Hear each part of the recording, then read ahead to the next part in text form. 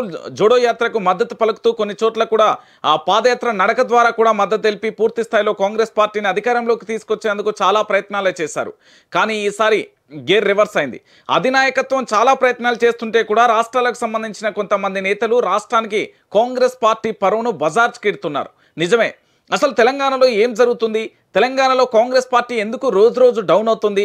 వాటికి గల కారణాలు ఏంటో ఒకసారి మనం పూర్తి స్థాయిలో విశ్లేషించుకుందాం. నిజంగానే మాట్లాడుకుంటే తెలంగాణ రాష్ట్ర రాజకీయాలలో కీలక పరిణామంగా చెప్పుకున్న కాంగ్రెస్ పార్టీకి సంబంధించి వాళ్ళు జంబో కమిటీలని కొన్ని ఏర్పాటు చేశారు. దాంట్లో ఏఐసిసి పిసిసిగా ఉన్న ఠాగూర్కు సంబంధించి కావచ్చు మాణిక్య ఠాగూర్ అటు రేవంత్ రెడ్డి వీళ్ళిద్దరూ కూడా ప్రధానంగా కూడా దాంట్లో ఉండడం జరిగింది. మిగతా వారిని కూడా కొత్త పాత తరాన్ని కాకుండా కొత్త నాయకత్వానికి పూర్తిగా బాధ్యతలు ఇచ్చారు. అయితే ఈ బాధ్యతల విషయంలో కూడా చాలా విభిన్నమైన వ్యాఖ్యలే కనిపిస్తున్నాయి. కాంగ్రెస్ పార్టీలో పుట్టి పెరిగి కాంగ్రెస్ పార్టీలోనే చనిపోయే వరకు ఉంటామని చాలామంది నేతలు చెప్తూనే ఉన్నారు. ఆ నేతల ప్రకారం జరుగుతున్నది ఏంటి జరగబోయేది ఏంటి అనే విషయాన్ని కూడా ఒకసారి మనం చూడాలి. ఎందుకంటే దేశవ్యాప్తంగా జరుగుతున్న పరిస్థితులలో అనేక అంశాలు కూడా మనకు కనిపిస్తున్నాయి. ఇక్కడ ఒకటి రెండు మూడు అంశాలు కాదు చాలా అంశాలు కూడా మనం చూస్తున్నాం. భారతదేశంలో కాంగ్రెస్ పార్టీ యొక్క ముఖ చిత్రం కానీ కాంగ్రెస్ పార్టీకి సంబంధించిన అంశాలు కానీ మనం చాలా క్లారిటీగానే వింటున్నాం. దేశంలో జరుగుతున్న ఒక్కొక్క అంశాన్ని కూడా చూస్తున్నాం. అదేవిధంగా తెలంగాణ రాష్ట్రంలో కాంగ్రెస్ పార్టీ ఎందుకు అధికారంలోకి రాలేకపోతుంది? అసలు కాంగ్రెస్ పార్టీ అధికారంలోకి రాకపోవడానికి గల కారణం ఏంటి అంటే ఇక్కడ చాలా విషయాలు కూడా బయటకు వస్తున్నాయి. ఒకటి కాదు రెండు కాదు చాలా విషయాలను కూడా మనం అబ్జర్వేషన్ చేయాలి. తెలంగాణ రాష్ట్రాన్ని ఇచ్చింది కాంగ్రెస్ పార్టీ అని చెప్పుకునే కాంగ్రెస్ నేతలు ఎందుకు రాష్ట్రంలో అధికారం దిశగా అడుగులు వేయలేకపోతున్నారు? వాళ్ళు చేసిన తప్పిదాలు ఏంటి వాళ్ళు చేస్తున్న తప్పులేంటి? అనే విషయాన్ని కూడా ఒకసారి మనం లోతుగా వెళ్తే తెలంగాణ రాష్ట్రానికి సంబంధించి సీనియర్ నేతలు అంటే తలపండిన నేతలుగా చెప్పుకునే చాలామంది నేతలు కూడా కాంగ్రెస్ పార్టీలో ఉన్నారు. వారిలో కూడా చాలామంది నేతలు కూడా మనం గతంలో చూసాం ఇప్పుడు చూస్తున్నాం భవిష్యత్తులో కూడా చూడబోతున్నాం. కాంగ్రెస్ పార్టీ అన్ని రకాల అవకాశాలను కల్పించి వారిని పూర్తిగా కూడా కాంగ్రెస్ పార్టీలో అందలం ఎక్కించే ప్రయత్నం చేసింది కానీ ఇప్పుడు కాంగ్రెస్ పార్టీ కష్టకాలంలో ఉంది. అయితే తెలుగుదేశం పార్టీ నుంచి వచ్చిన రేవంత్ రెడ్డికి పిసిసి బాధ్యతలు అప్పగించడం ఎవరికీ మింగుడు పడలేదు. ఆ తర్వాత కొన్ని తెలంగాణ అంటే కాంగ్రెస్ పార్టీలో జాయిన్ అయిన తర్వాత తెలుగుదేశం పార్టీ నుండి రేవంత్ రెడ్డి కొంచెం హడావిడే చేశారు. అంటే పూర్వ వైభవాన్ని తీసుకొచ్చే ప్రయత్నంలో భాగంగా కొన్ని చోట్ల సభలు సమావేశాలు కూడా రేవంత్ రెడ్డి ఏర్పాటు చేసిన అంశాలను కూడా మనం చూసాం. అంటే రకరకాలుగా తన ప్రయత్నాన్ని అయితే తాను కొనగించారు ఆ తర్వాత జరిగిన జరిగినది ఏంటి ఎక్కడ రేవంత్ రెడ్డికి ఆ పార్టీ నుండి సపోర్ట్ రాకుండా పోతుంది. ప్రస్తుతం కూడా మరొకసారి పిసిసి అధ్యక్ష పదవి నుంచి రేవంత్ రెడ్డిని తొలగించాలంటూ ఏకంగా ఏఐసిసి జాతీయ అధ్యక్షుడైన ఖర్గేకే లేఖలు రాయడం ఫిర్యాదులు చేయడం రాక రాహుల్ గాంధీకి కూడా అనేక రకాలుగా ఫిర్యాదులు చేసిన పరిస్థితులను చూస్తాం. అంటే ఓవరాల్గా రేవంత్ రెడ్డిని కుర్చీ మికెలు దించాలనే ప్రయత్నం జోరుగా కొనసాగింది. దీంట్లోనే అనేక విషయాలు అనేక మర్మాలు కూడా ఉన్నాయి. కాంగ్రెస్ పార్టీ నుంచి పిసిసి అధ్యక్షుడిగా రేవంత్ రెడ్డిని తప్పిస్తే ఎవరికి లాభం ఎందుకు లాభము అంటే కా పాత కొత్త తరం అనే అంశాలు రెండు బయటి నుంచి వచ్చిన వాళ్ళు మూడు అంశాలు తెర మీదకి వస్తాయి. ఈ మూడు అంశాలు ఏంటంటే గతంలో కాంగ్రెస్ పార్టీ మా మాటే వేదం మా మాటే శాసనం మేమే. కాంగ్రెస్ పార్టీ కాంగ్రెస్ పార్టీ అంటే మేమే అనే విధంగా చాలామంది నేతలు వ్యవహరిస్తున్న పరిస్థితి మనం చూస్తున్నాం. తెలంగాణలో యువతకు అవకాశం కల్పించకుండా కేవలం వారి యొక్క సొంత లాభాల కోసం పబ్బం గడపడం కోసం కాంగ్రెస్ పార్టీని ఈరోజు బజార్కి ఈ బజార్కు ఈడ్చుతున్నారనేది వందకు వంద శాతం నిజం. తెలంగాణ రాష్ట్ర రాజకీయాలలో చాలా అంశాలు కూడా మనం ఇప్పటివరకే చూసాం. కానీ కాంగ్రెస్ పార్టీ తన యొక్క ఓటు బ్యాంక్ ఉంటుంది. ప్రతి నియోజకవర్గాలకి వెళ్ళినా కూడా దాదాపుగా ఎక్కడికైనా ఒక పదివేల నుంచి పదిహేను వేల ఓటు బ్యాంకు మాత్రం కాంగ్రెస్ పార్టీకి ప్రతి నియోజకవర్గంలో ఉంటుంది. అలాంటిది హుజరాబాద్లో జరిగిన ఎన్నికలలో కేవలం డిపాజిట్ వెయ్యి ఓట్లు కూడా రాలేని పరిస్థితికి ఎందుకు చేజారిపోయిందనే అంశాన్ని చూస్తాం. ఆ తర్వాత కూడా గత వరుసగా జరిగిన సంఘటనలు కానీ దుబ్బాక కానీ లేకపోతే ఇక్కడ మన మునుగోడు ఎన్నికలలో కూడా కాంగ్రెస్కు జరిగిన పరాభవాన్ని మనం మొదటి నుండే చూస్తున్నాం. అయితే తెలుగుదేశం పార్టీ నుంచి వచ్చినంత మాత్రాన పిసిసి అధ్యక్షుడిగా ఉండకూడదా? తెలుగుదేశం పార్టీ నుండి వస్తే తప్పేంటి? అనేది మరో వాదన. అంటే ఇతర పార్టీల నుండి వచ్చి ఈరోజు పిసిసి అధ్యక్షుడిగా మా మీద పెత్తనం చెలాయిస్తే మేము ఎలా ఊరుకుంటాం? మేము కాంగ్రెస్ పార్టీని నమ్ముకున్నాం. కాంగ్రెస్ పార్టీ నుంచి అనేక రోజులుగా కూడా కాంగ్రెస్ పార్టీ అధికారంలోకి తీసుకురావడానికి కృషి చేస్తున్నామని చాలామంది నేతలు చెప్తున్నారు.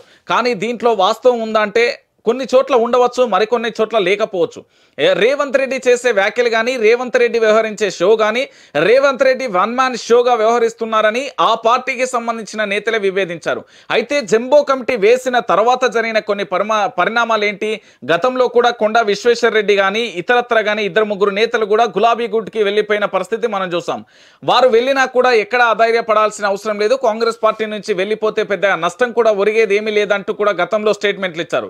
ఇప్పుడు జంబో కమిటీతోని కొండా సురేఖ కానీ బెల్యా నాయక్ కానీ తర్వాత రాజనరసింహ కూడా ముగ్గురు కూడా అసమ్మతిని వ్యక్తం చేయడం జరిగింది. కాంగ్రెస్ పార్టీలో పూర్తిగా కూడా మాకంటే వెనుక వచ్చిన జూనియర్లకు మీరు పదవులు కట్టబెడుతున్నారు అనే అంశాన్ని కూడా ఆడ ప్రతిపాదన తెర మీదకి వచ్చింది. సో ఇలాంటి పరిస్థితులలో ఇటు మదియాష్కి కానీ రాజనరసింహ కానీ ప్రేమ్ సాగర్ కానీ కోదండరెడ్డి కానీ లేకపోతే వీళ్ళు నలుగురు ఆ రాజనరసింహతో మధు యాష్కి కూడా మధు యాష్కి కూడా వీళ్ళందరూ కూడా పాత తరం ఉత్తమ్ కుమార్ రెడ్డితో సహా కూడా పాత పాత నేతలందరూ కూడా సమావేశం అవ్వడం మన కాంగ్రెస్ను మనం కాపాడుకోవాలి. అంటే పాత కాంగ్రెస్ను కాపాడుకోవాలనే ఒక నినాదాన్ని కూడా తెర తీసుకొచ్చారు. ఆ నిదా నినాదంలో ఏం జరుగుతుంది అనే విషయాన్ని కూడా ఒకసారి మీకు వివరించే ప్రయత్నం చేస్తా. పాత తరం కొత్త తరం అనే విషయాన్ని నేను ఒక విషయం పక్కన పెడితే అసలు ఎందుకు వీళ్ళు కాంగ్రెస్ పార్టీని ఈ విధంగా మాట్లాడుతున్నారనే అంశాన్ని కూడా చూడాలి. ఆ కాంగ్రెస్ పార్టీని మన అంటే దాదాపు నూట ముప్పై ఐదేళ్ళ చరిత్ర కలగవచ్చు.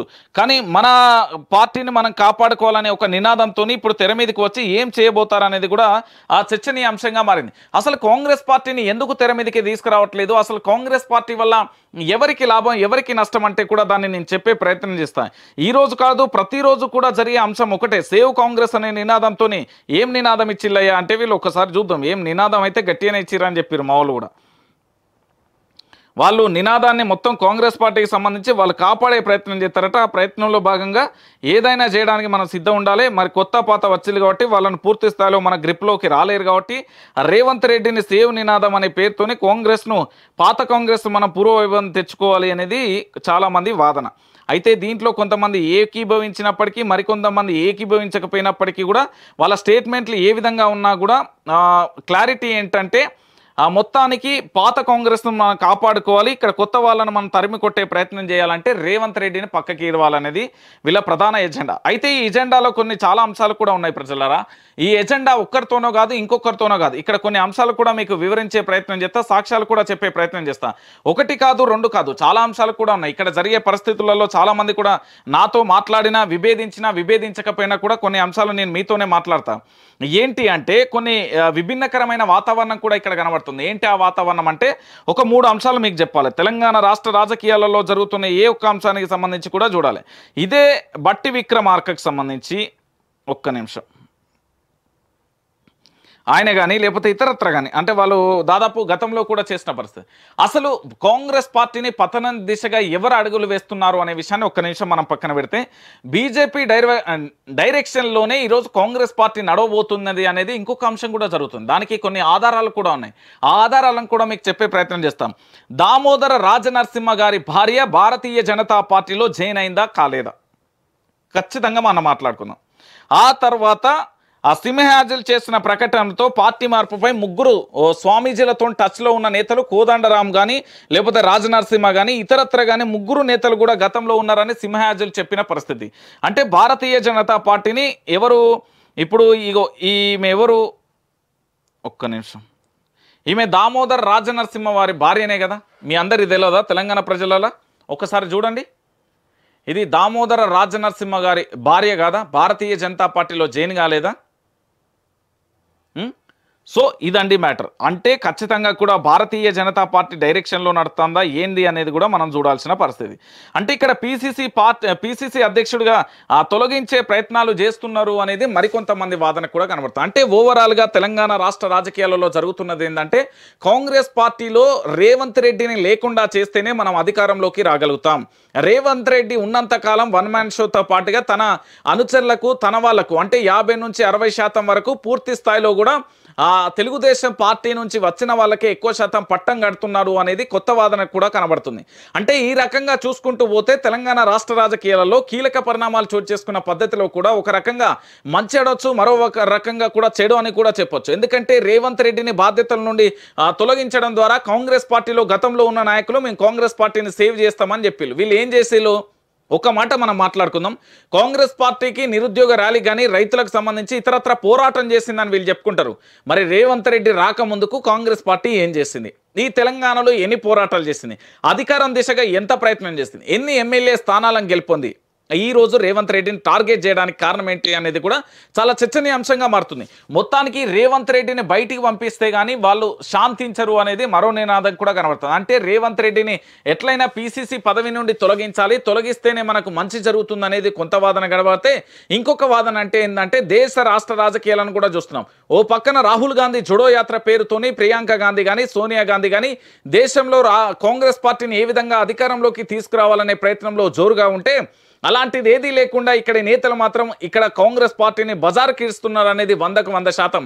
ఎందుకంటే ప్రతి కార్యకర్త కూడా ఉన్నారు. గ్రామీణ స్థాయిలకు వెళ్తే ఇక్కడ ఏంది టోపీలు పెట్టుకొని కద్ద చొక్కాలు వేసుకున్న నాయకుల కంటే గ్రామీణ స్థాయిలో క్రియాశీలకంగా పనిచేసే కార్యకర్తలు మీరు అనుకున్నప్పటి నుంచి ఇప్పటి వరకు కూడా దాదాపు నూట ముప్పై ఐదేళ్ళ చరిత్ర కలిగిన కాంగ్రెస్ పార్టీకి అంతలా పనిచేసే కార్యకర్తలు కూడా ఉన్నారు. చాలా మంది ఉన్నారు. ఈ రోజు కోమటిరెడ్డి వెంకటరెడ్డి ఇటు నరేంద్ర మోడీతో భేటీ కావడం కానీ కొండ విశ్వేశ్వర రెడ్డి వెళ్ళిపోవడం కానీ రాజగోపాల్ రెడ్డి వెళ్ళిపోవడం కానీ రకరకాల ప్రయత్నాలలో భాగంగా పార్టీకి ఏమని చెప్తున్నారంటే మీరు వెళ్ళిపోతున్నారు వాళ్ళ వ్యక్తిగత స్వార్థాల కోసం పోతున్నారు అనేది రేవంత్ రెడ్డి స్టేట్మెంట్. ఇటు జగ్గారెడ్డి మధు యాస్కి కానీ ఉత్తమ్ కుమార్ రెడ్డి దామోదర్ రాజ నరసింహ కానీ లేకపోతే ప్రేమేందర్ కానీ లేకపోతే కోదండరెడ్డి కానీ వీళ్ళందరూ ప్ర- వీళ్ళందరూ చేస్తున్నది ఏంటంటే కాంగ్రెస్ పార్టీకి అసమ్మతి సెగలు. కొండ ఇటు కొండా సురేఖ కానీ బెల్యానాక్ కూడా అసంతృప్తి వ్యక్తం చేసిన పరిస్థితి కనబడుతుంది. అంటే ఓవరాల్గా వీళ్ళంతా ఏం చేస్తున్నారంటే కొత్త పాత అనేది ఒక డివైడ్ చేసి సేవ్ కాంగ్రెస్ అనే నినాదంతో రావడం వల్ల ఏంటంటే పాత తరాన్ని మేము తీసుకొస్తామంటే గతంలో ఉన్నప్పుడు ఇదే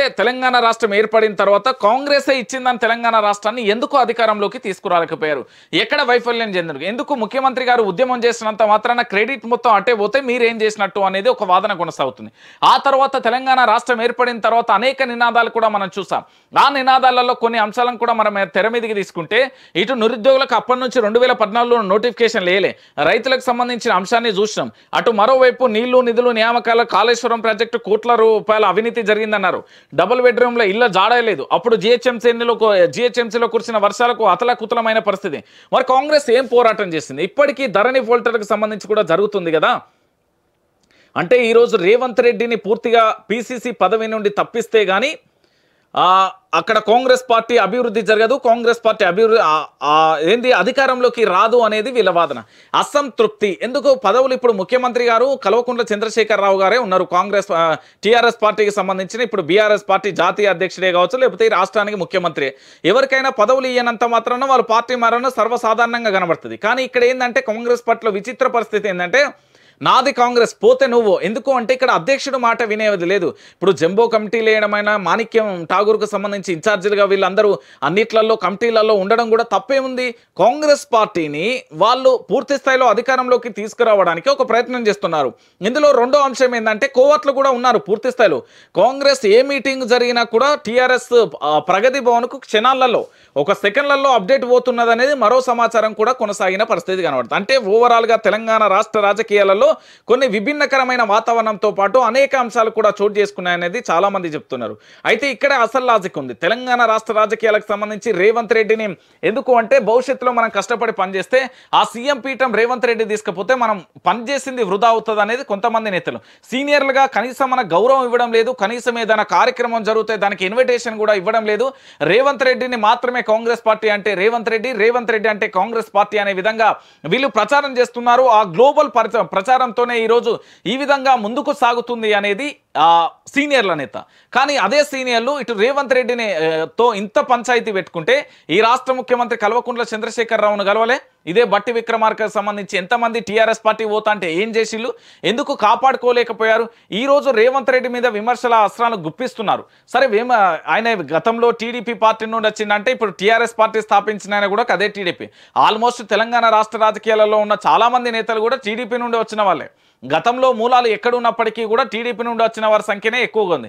కానీ ఇక్కడ పార్టీని ముందుకు తీసుకెళ్ళే కార్యక్రమంలో నేతల అడ్డుపుల్ల వల్లనే ఇంకా కాంగ్రెస్ పార్టీ దినదిన గండంగా మారిపోతుందన్నది ఇది చాలా స్పష్టం సుస్పష్టం. ఇంకొక అంశం ఏంటంటే ఇక్కడ అసలు లాజిక్ ఉంది. ఈ పార్టీలలో పీసీసీ పదవి నుండి తొలగించాలని చాలాసార్లు కూడా ఇటు రేవంత్ రెడ్డి మీద ఫిర్యాదులు చేసిన పర్వం కూడా కొనసాగుతుంది.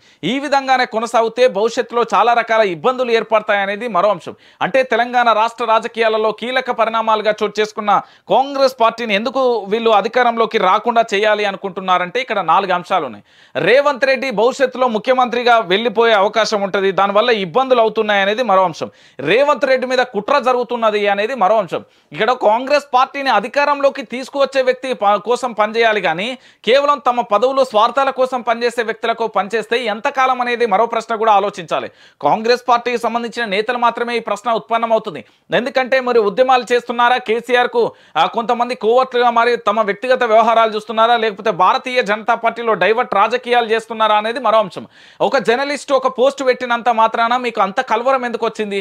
అంటే మీరు కుమ్మక్కయ్యారనే అర్థం కదా అనేది వాదన కూడా కొనసాగుతుంది. అంటే దాంతో పాటుగా జరిగే పరిస్థితులలో ఏంటి అంటే ఈ తెలంగాణ రాష్ట్ర రాజకీయాలలో కీలక పరిణామాలుగా చేసుకునే రేవంత్ రెడ్డిని మీద కుట్ర జరుగుతుంది. రేవంత్ రెడ్డిని పిసిసి పదవి నుండి తొలగించాలని భారీగా డిమాండ్ వస్తున్నది. కాంగ్రెస్ పార్టీకి సంబంధించిన నేతలు కానీ ఇటు టీ కు సంబంధించిన నేతలు కానీ భారతీయ జనతా పార్టీకి సంబంధించిన అన్ని పార్టీలలో ఉన్న కోవట్టులు ఏం చేస్తున్నారంటే పూర్తి